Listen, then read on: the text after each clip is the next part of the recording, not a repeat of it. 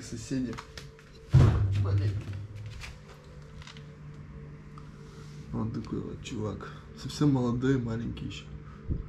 Одна из разновидностей, не знаю, может это самец, а может быть самка. Но они типа разные бывают.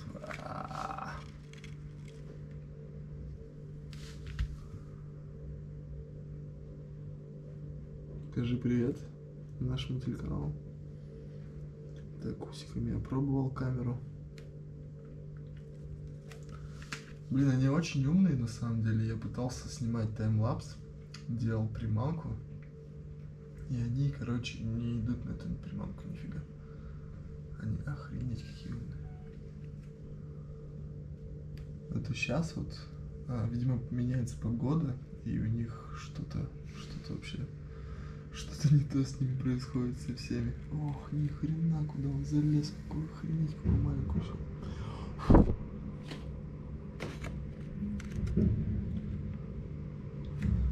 Короче, меняется погода, и у них башню сносит, и они, короче, вообще какие-то вялые, и ничего не хотят делать.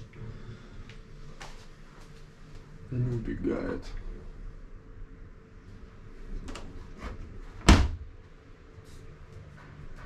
Вот, кстати, приманка моя. Не думайте, что у меня постоянно лежит на кухне.